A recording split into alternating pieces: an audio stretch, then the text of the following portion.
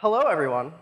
Uh, welcome to using Ruby to automate your life. Um, I usually start out with a joke, but since we're like a little pressed for time, um, usually it's a story and then there's like a punchline at the end, but uh, I decided to just shorten it today. So today's joke is Windows. so how many people know what this is? It's a can, right? It's a very pretty can. I drew it in Keynote. Um, and I'm not an artistic person, so this took me approximately six days. Um, actually, this is the repetitive can of shit. Um, so I gave it a name. Uh, it's not a Campbell's can, it's just a can of shit. In fact, it's the repetitive can of shit that you have to do on a daily basis. So we just heard a talk about continuous delivery and continuous deployment. Um, and really, what I want to talk about today is automating not only your deployments, but everything that you do. Um, because by trade, we're all developers, and who wants to type the same command a million times? So we have these commands like uh, cap deploy if you're using Capistrano, and bundle. How many people have run bundle more than a million times in their life? Uh, things like vagrant up or rspec or minitest or IRB or pry. Um, and the list just grows and grows and grows uh, to the point where you start adding in your bash commands where you're listing files and pinging for things because you're pretending to be a sysadmin and and all of a sudden, you're just doing the same thing over and over again, and you're just hitting the up arrow in your command history, and you're starting to hate your life, and then you start adding you know, all of these new technologies in where you're trying to ping GitHub and add HTML5 support and support Windows. There's another joke for you. Um, and really, like, you're just, you're bored, right? Like, your life doesn't feel important because you're spending so much time on the things that surround your actual job that you can't get your actual job done. Uh, it's, it's the technical form of meeting fatigue, uh, where you're wrapped in so much technical debt, not in the sense of code, but in the sense of process, that you can't get your work done, uh, and you start to get unhappy. So my question is, what if there was a way that we could fix that? Uh, and we can fix that together. But the solution that we need has to be reproducible. Like, ls is always going to give you the list of results, or the list of directories and files in a directory uh, on a system that's Unix-based, just like dir is going to do it for you on Windows. We need something that's going to be reliable, too. ls doesn't segfault. Ruby sometimes segfault, segfaults. Uh, and lastly, we need it to be unattended or untended. Uh, I chose the word untended because unattended didn't fit in the same font next to my can. Uh, so that's supposed to say unattended, but I'm just going to blame it on spelling and graphical design problems. Uh, so that's really what I'm here to talk to you about today, is how can we use Ruby uh, through the power of Chef to automate the daily tasks that bog down our lives. So who am I? Um, I'm Seth. Uh, I used to work at a company called OpsCode, and then we rebranded to a company called Chef, uh, and we're the company that makes Chef. Uh, so this is my contact info with cool logos. Uh, so if you want questions, these slides are already posted on SpeakerDeck. Uh, if you want to talk about Chef, you can hit me up on Twitter, uh, or you can email me, or you can I don't know, I have business cards, but nobody really uses those anymore. Cool. So I have two disclaimers, um, and they're super, super easy. Uh, so the first is that I work for Chef. Like, I'm not hiding that. Um, but this isn't a vendor pitch.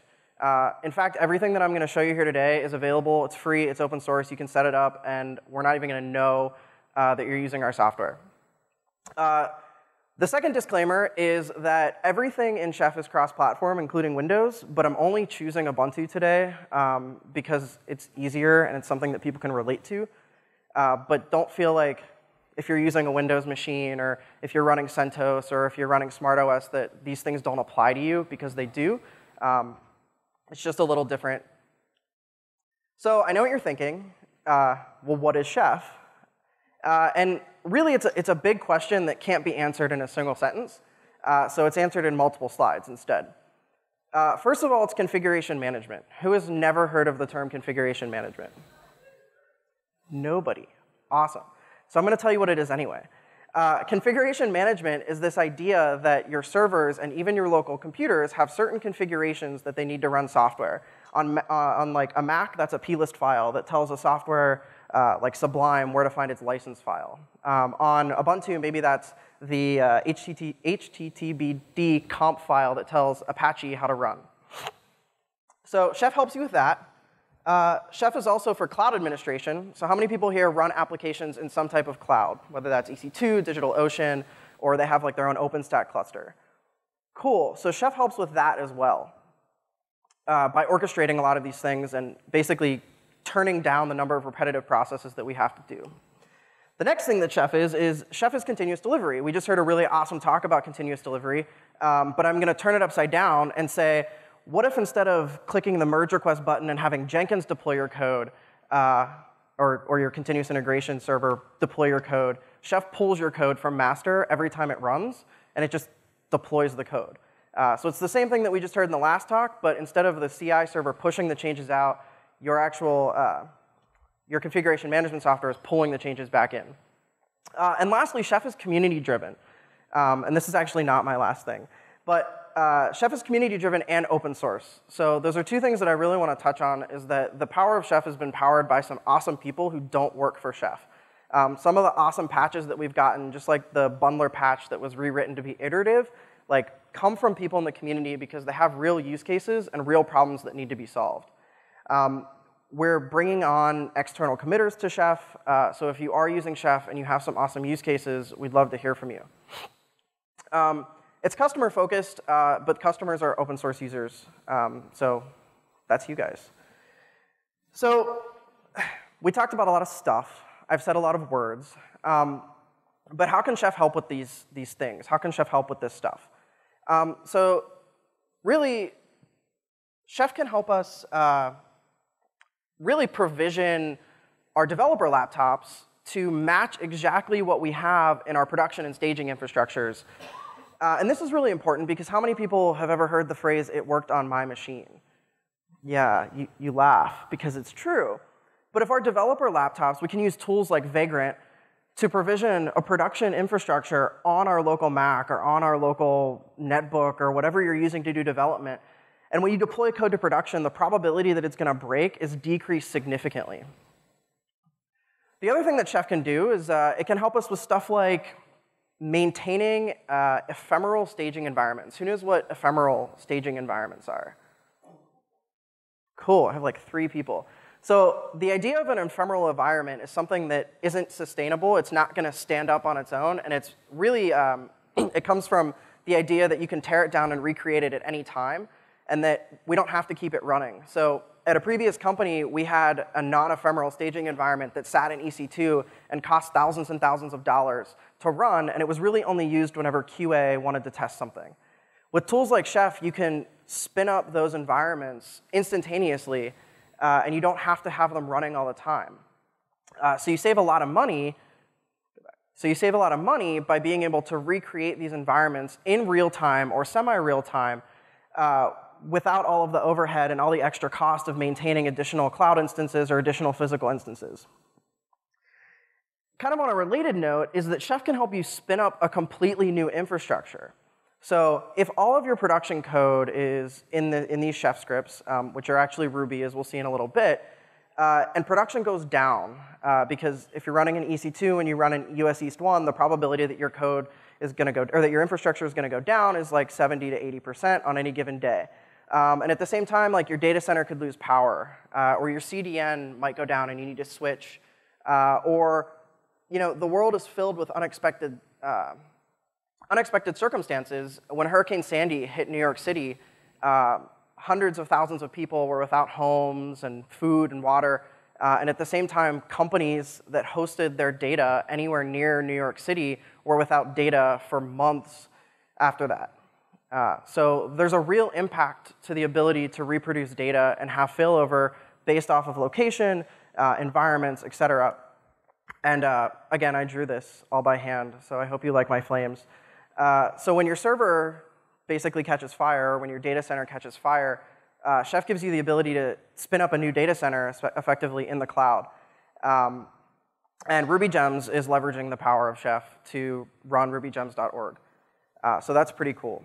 So what I wanted to do today is run you through a couple scenarios that I hope you're familiar with of kind of how Chef can help automate some of the daily tasks that you do um, and then talk about some advantages and disadvantages uh, compared to like some other tools that you might be using. Uh, so the first scenario uh, is Capistrano. How many people in here are or have ever deployed an application with Capistrano? How many people wish they hadn't? Okay, so Capistrano is really cool. Um, I don't actually have anything against it. I think it's a great tool. Uh, but sometimes I think that it, it does a little bit more than it should. So if you ever look at cap deploy setup, basically this is what it does, is it creates a series of directories and nested directories on the target system, does some chowning and some chmodding to make sure that the permissions are set up with the deploy user that you've defined in your deploy.rb. This seems like it's outside of the scope of deploying an application to me. Uh, it doesn't seem like my deployment script should be responsible for installing packages or, or configuring the system or adding users. It seems like some other tool should do that. So let's rewrite this with Chef. So how might we accomplish this? Uh, this is the same exact thing converted to a Chef script. And right away, you probably see the, the do end with a block. Um, so you know immediately that it's Ruby code. Uh, and you can see that that's just a native array with a variable and some simple iteration. And uh, this is a chef script that does the exact same thing that Capistrano does with creating those directories uh, in a little bit more code, uh, but it's all, all in Ruby and easy to understand. So how does this actually work? You'll notice on the second to last line there, there's a directory resource uh, that's basically creating a directory. So this is an implicit action to create a directory. What does that actually look like? Each of the resources in Chef actually accept a block of parameters. So the first thing you do is you declare a resource. In this case, it's a directory. It could be a template. It could be an execute block that'll execute arbitrary code. It could be a package installer. And this is handled cross-platform. And then the next thing you do is you actually declare parameters or attributes inside this block. So uh, in Ruby land, the block is instance eval against the parent class. Uh, so basically, this is the same as saying directory.owner equals www data. Uh, and the same thing with the group. And finally, we declare an action, uh, or sorry, a mode. Uh, and that mode is just a simple 755. And there's an implicit action on every resource. For directories, it's create. For package, it's install. It's what you would assume is the default action for what you're taking. Uh, so that was the very basics of like what a directory resource looks like, and this was your like crash course into Intro to Chef. Um, so I hope you enjoyed it. Uh, next, we're going to look at cap deploy, which is definitely a more complex process than creating a couple directories. So uh, if you're familiar with what Capistrano does, it essentially goes out to Git or SVN or whatever your SCM is, checks out the latest ref or whatever you've told it to check out, uh, and then it points a symlink of current to that release that it checked out, and then it runs any migrations, et cetera, and then it updates some PID files, restarts some processes. Again, it's all dependent on your Capistrano setup. This is just kind of the big picture of how things work. Uh, so how might we accomplish this in Chef? Uh, well, it turns out that Chef actually has a built-in resource called Git uh, that will run Git commands like clone and checkout for you. So uh, the first thing we want to do is grab a timestamp because Capistrano uses timestamps and we're directly mirroring what Capistrano does right now. And uh, we're basically just going to deploy to that timestamp. So the deploy to path is from the script that we saw earlier, and then we're just appending the timestamp to the end. And then the Git resource accepts a series of parameters. So the repository, uh, the ref, which is a more general term for branch or tag or actual SHA value, uh, we only want to check out a depth of one because we don't want to clone the entire repo every time we deploy. Um, and we don't actually want to clone at all. In fact, we want to do just a straight up checkout. Uh, so what this is going to do is, under the hood, Chef is going to take this Git resource and it's going to effectively compile it down to a raw Git command that runs on the system. The same way that Capistrano takes and appends some strings together and runs that on the target system.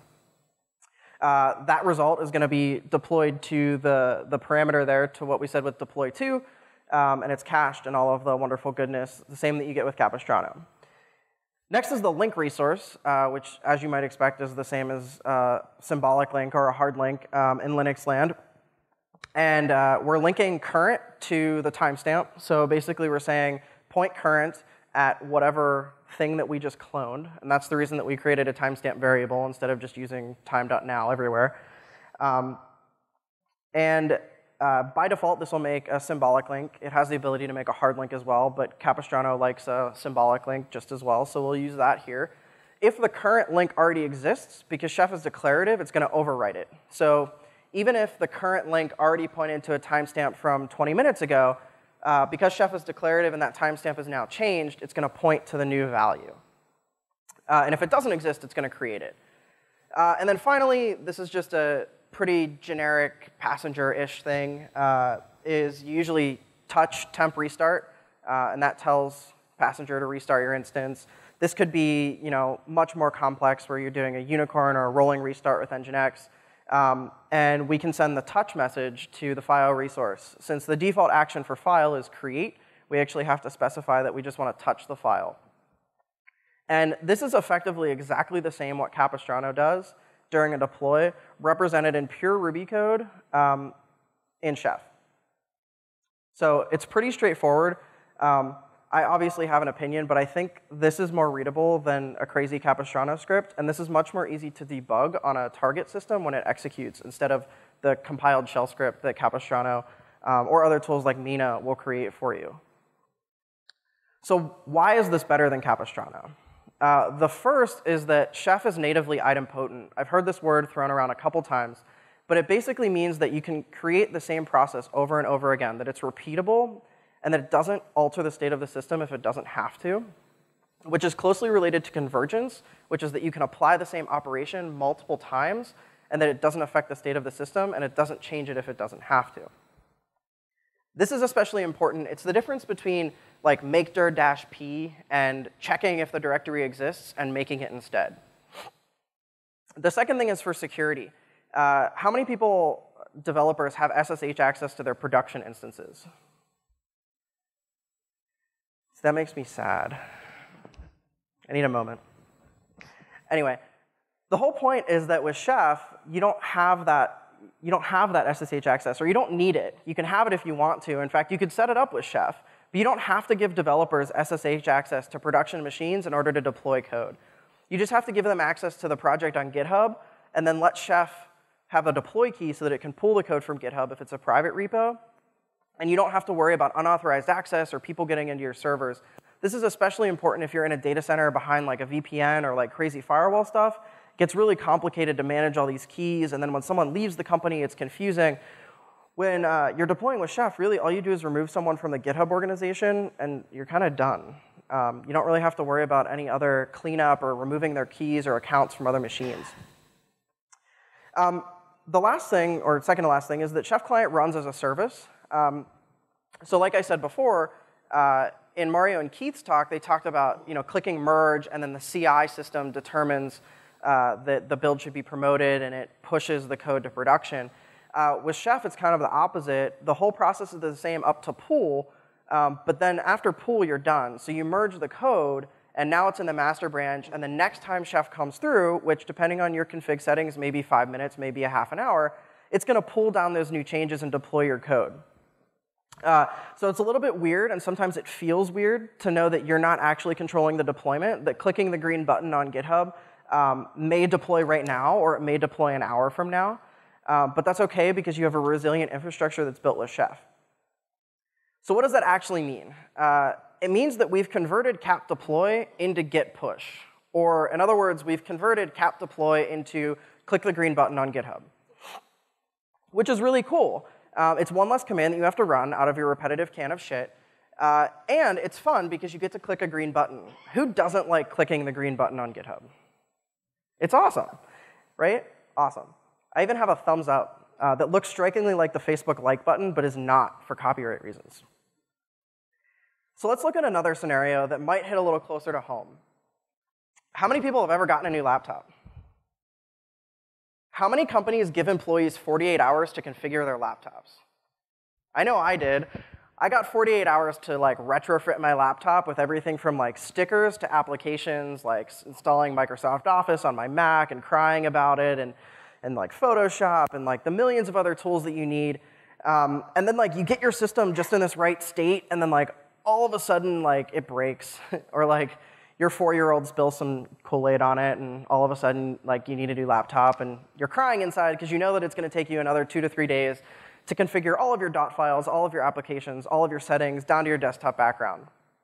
Um, so let's take a look at like what happens in a typical like or at least in my mind, what happens in a typical Ruby developer's new laptop scenario. Uh, so you're going to install Vagrant. You're going to install VirtualBox. Actually, you're going to install VirtualBox before you install Vagrant because there's this really cool bug that if you don't run VirtualBox before you run Vagrant, it doesn't work anymore. Um, you're probably going to install Git. You might install Google Chrome or like Netscape. Um, probably going to like use Homebrew to install some Postgres and some Redis and like some MySQL. You might install some SQLite, uh, MongoDB if you hate your life. Um, you might want to install some Rubies. You might use chruby. You might use rbenv. You might use RVM. Um, they're all awesome. And then, of course, you need ImageMagick because every developer loves manipulating images, and then Gecode because dependencies are hard. Um, and then, you know, Firefox because you have to support multiple browsers, and you want to run like native IE support inside your Google Chrome browser and IE tab. And all of a sudden, you've just downloaded like probably 12 gigabytes worth of software, and you have to install it, and you have to manually set license keys if that's applicable. You have to accept EULAs. It's really a grand old time. So how do we do this? We open up Safari because new Macs don't have Google Chrome. Uh, and then we download Google Chrome. That's the first step. And then we, we go and we click up in the upper right-hand corner, and then we double-click on that thing, and then we have to drag it into the folder. This is a very manual process. Um, and it's kind of fun because like the Mac is pretty, and you have a nice new desktop background, and you feel really good. It gives you like a visual sense as a user that I have installed an application. I have a sense of accomplishment. Um, but that's really, really bullshit. Um, in fact, it's totally pointless and it's a waste of your time, and you should feel bad every time you do this. It shouldn't feel like a sense of accomplishment every time you drag an application into this fake symlinked applications folder in a DMG, uh, because there is a better way, and it looks like this. This is code that installs Google Chrome. Uh, and I've truncated the rest of it because, one, it's probably different than when I made the slide, and two, it was really long and didn't fit on my slide, and I like pretty slides. Uh, this is the code that will install Google Chrome on your Mac for you. Uh, it accepts a DMG, as well as the name of the DMG, and then a source to download it from. So if you imagine your company has a series of tools like Google Chrome and VirtualBox that it installs a lot, it might make sense to cache these on a local server so that you don't have to download them a million times. And then in your developer setup scripts, you just point to the correct URL and your uh, local cache, and developers don't have to download 20 gigs of software. Instead, it's all downloaded on the local network. Uh, so this is really simple, at least in my opinion. Do you have a question? Of software? That source URL is a source to a specific version. Uh, so you can specify a version attribute to the package URL. Uh, with the like on like apt and like yum package providers, you can specify a version and like apt and yum do the right thing. Um, I don't actually know what DMG package does because it wants an actual DMG. It's not like using Homebrew like we'll see in a second. Um, so I don't know. If you give me a real, like if you give me a different example, I will give you a solution, but I can't give you a general solution. But good question. Um, anyway, so it's simple, uh, and it's really fast. In fact, uh, you have to click, if you were paying attention, you have to click six times to actually install Google Chrome from the time that you click on Safari to the time that you drag it into the folder. Um, that's less characters than you have to type to run this script. So that's pretty cool. Um, and it's reproducible. Uh, so in the event that Google Chrome is not installed, it's going to install Google Chrome. In the event that Google Chrome is installed, it's going to do nothing. It's a no-op. Um, we can change this to like install Firefox too. Uh, we could change this to install VirtualBox or Vagrant or pretty much any software that we can pull a DMG off the internet from.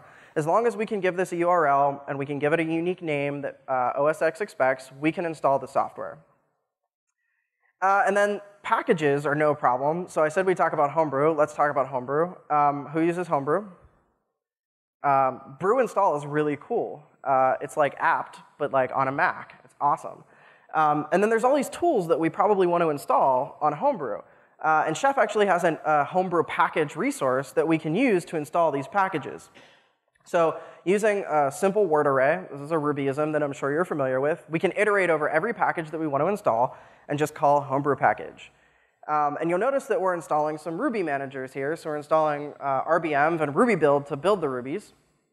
Uh, and we can actually use Chef to execute uh, the installation of Rubies. So we can automate our Ruby installation.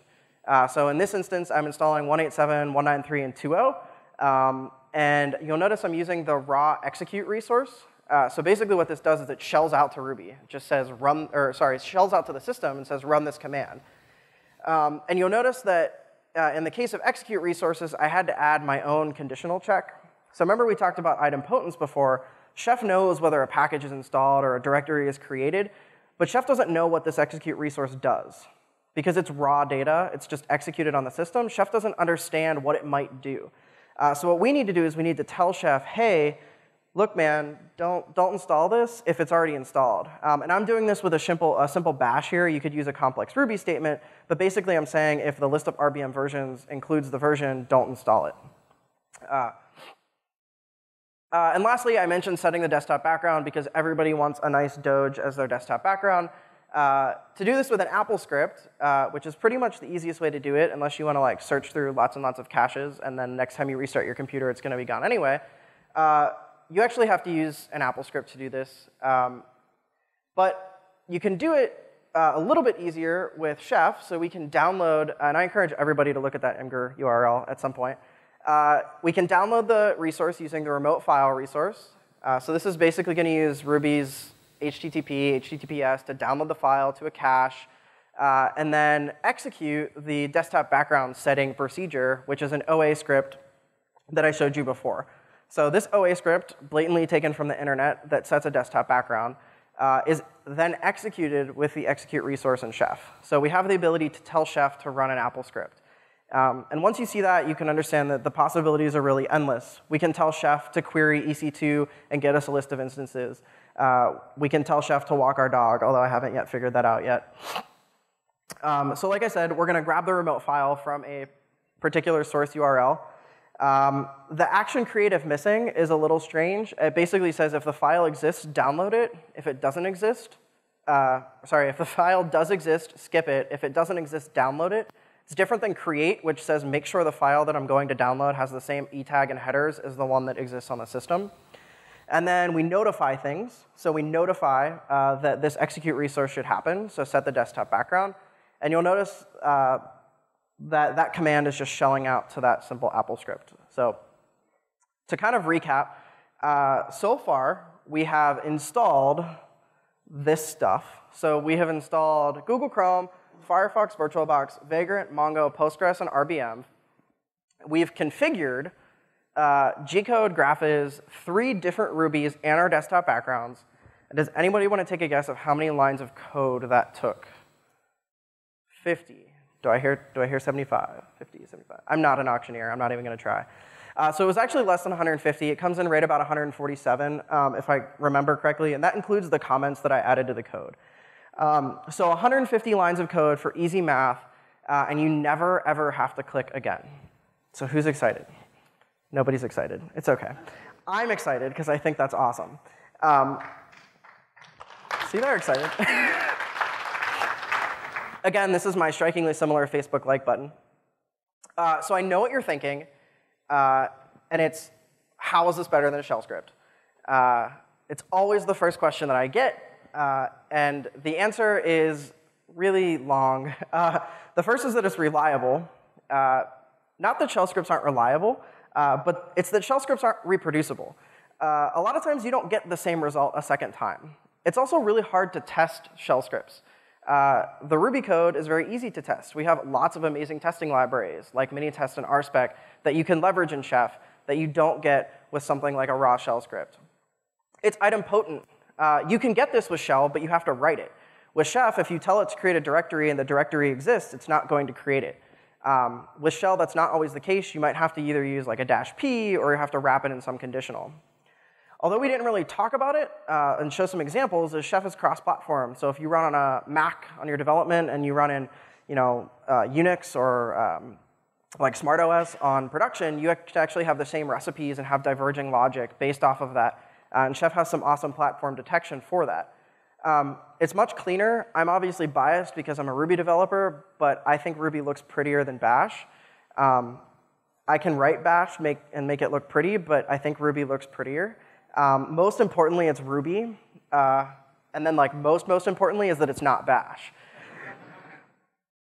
Uh, so these are the three things that really make Chef shine uh, out of actually any configuration management software, whether it's Chef or Puppet or Ansible and Salt. These are the three things that really make Chef or any of these tools better than a shell script. Uh, so now I really know what you're thinking, uh, is that you, you want this. Like, I'm telling you that you want this. Um, it's like subliminal messaging, but not subliminal.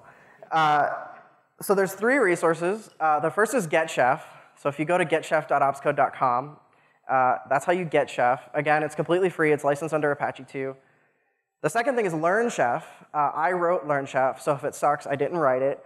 Um, and basically, it's an interactive tutorial for getting you up to speed on a lot of the stuff that we talked about here, the reasons, the whys, the rhymes, all of that jazz. Um, and then the last thing is if you want to be chef and do the stuff that I do, we're hiring. Here's how you get in touch with me. What kind of questions can I answer? Yeah.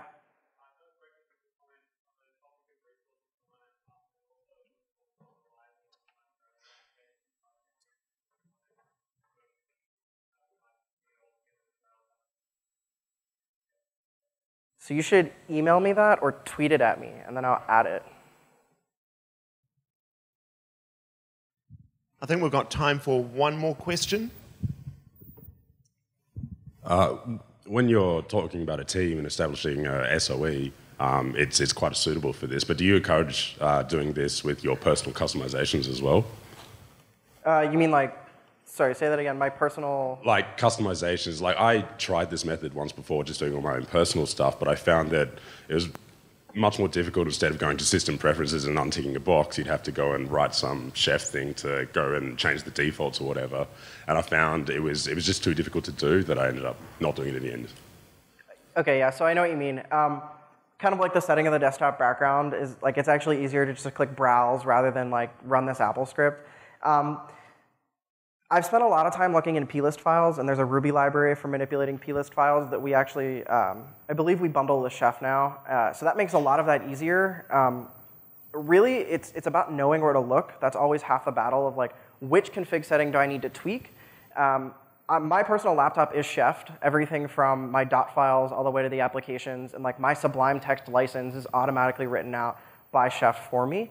Um, but it, it, did take a while and it was like an iterative process. Like you don't really sit down in an afternoon and code this up. It's more like when I want to install a new application, if it's something I know I'm going to keep using, I'm going to add it to my, my private repo on GitHub and basically say like, okay, how am I going to install this with Chef? And I spend an additional five minutes.